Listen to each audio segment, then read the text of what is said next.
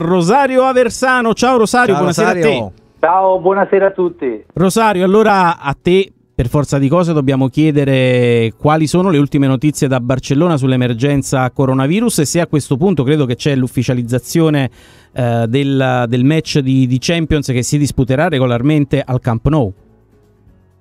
Sì, no, al momento la situazione è abbastanza grave, però è sotto controllo. Per cui è abbastanza protetta la, la cosa. Quindi tu credi che non ci sia lo spazio per un cambio di sede? No, credo di no. A questo punto credi che la UEFA si prenderà le sue responsabilità perché poi il punto della questione è proprio questo. De Laurentiis, al di là poi del giusto allarmismo eh, che ha fatto trapelare nel corso di queste settimane, lui chiede alla UEFA di assumersi le proprie responsabilità in caso di danni. Mi sembra molto chiaro e mi sembra chiaro anche il punto di vista del legale del Napoli Grassani. Secondo te a questo punto ci sarà proprio un quartier generale blindatissimo per il Napoli? Sì, credo, credo di sì. Il Barcellona comunque vuole assolutamente giocare qui, per cui avrà dato delle garanzie alla UEFA e sì, saranno le cose fatte in un certo modo. Ma quanti contagi si- ci sono in Catalogna oggi? Oggi stavamo sui 1100. Che sono tantissimi, è una situazione veramente grave. Rosario, dal punto di vista sportivo invece qual è la formazione che i giornali stanno rilanciando in questi giorni per quanto riguarda il Barcellona? Secondo te Setien si affiderà alla formazione tipo e qual è questa formazione tipo? Io leggevo soltanto i tre nomi in attacco e mi vengono i brividi, Messi, Eh. Suarez e Griezmann, poi? Sì. Al centrocampo ci saranno, almeno sta, Setien sta lavorando su questa formazione, De Jong, Rakitic e Sergi Roberto. Buttali via.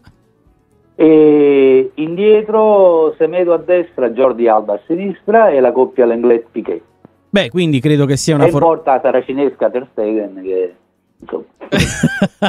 Rosario, io credo che il Napoli debba prima di tutto pensare a non prenderle perché con un tridente d'attacco così importante il Napoli dovrà fare molta, ma molta attenzione, però credo che come diceva anche Donato Martucci prima, eh, avallando poi il discorso che faceva anche Antonio Papa, io credo che il Napoli abbia la possibilità in attacco di far male e quindi chiedo anche a te un pronostico e secondo te se non dovesse giocare Lorenzo Insigne chi potrebbe giocare al suo posto?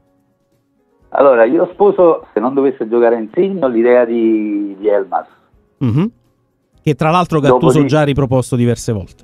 Esattamente. E andarli a prendere su non mi sembra una grandissima idea perché loro riescono a, col palleggio a venirne fuori e possono farti male. Io nemmeno rimanere tutti indietro, tipo come l'Inter, eh, la- il ritorno di Coppa Italia, Mhm. Fare una partita attenta, però dimostrando che sei lì per far male.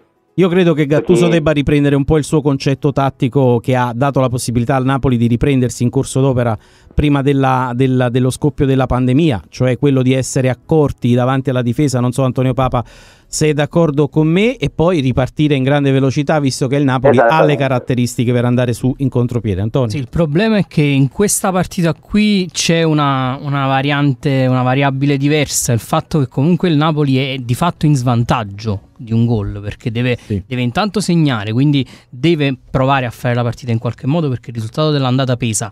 Eh, quindi non può fare una partita troppo attendista, non può chiudersi troppo perché comunque rispetto a quando appunto ha affrontato l'Inter in Coppa Italia e partiva da un vantaggio importante di 1-0, adesso invece deve comunque riuscire a segnarlo il gol perché altrimenti eh, non riesce a passare il turno. Quindi anche in questo sarà curioso capire Gattuso come la imposterà proprio perché di fatto il Napoli è una squadra che deve rimontare, eh, nonostante all'andata ci sia stato un pareggio.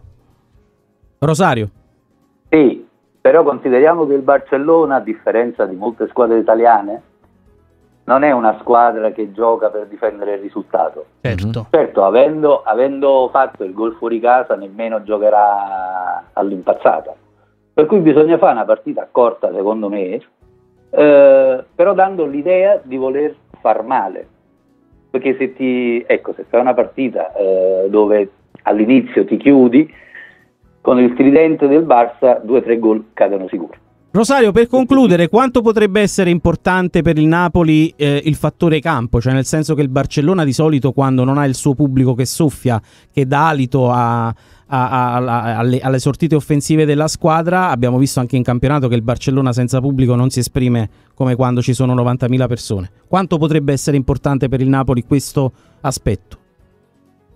Ma è, è, un piccolo vantaggio, eh, però più che altro bisogna vedere la personalità dei giocatori perché un Camp Nou, anche vuoto, eh, crea, può crearti difficoltà. E poi il Camp Nou, lo ricordiamo, è più lungo e più è largo più lungo, rispetto sì. alla media sì. dei campi europei, quindi il Napoli dovrà fare molta molta densità soprattutto uh, in chiave di palleggio no? io credo eh. perché il Napoli quando gioca in orizzontale è molto bravo quindi secondo me questo aspetto qui potrebbe essere utile. Poi per quanto riguarda la profondità la lunghezza del campo i contropiedisti del Napoli penso a Mertens penso a Lozano uh, penso anche a Politano perché poi abbiamo escluso la possibilità di vedere Politano in campo con Mertens e magari Lozano oppure Cagliecon non lo so io credo che Gattuso ci stia riflettendo bene. Ti ringraziamo per essere stato con noi Rosario. A presto. A e buon Barcellona-Napoli. A te